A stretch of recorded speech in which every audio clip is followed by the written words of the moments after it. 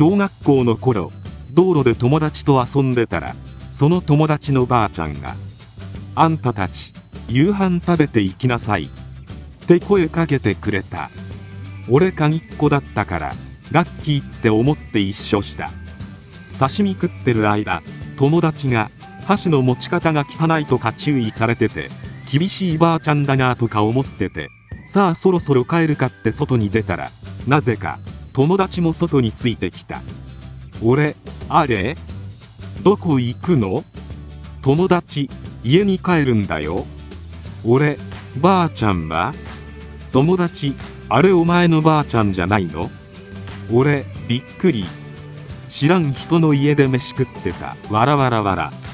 後で両親がお礼言いに行ってたけれどばあちゃんは遠方に住む孫のような気がしてつい誘ってしまったらしい。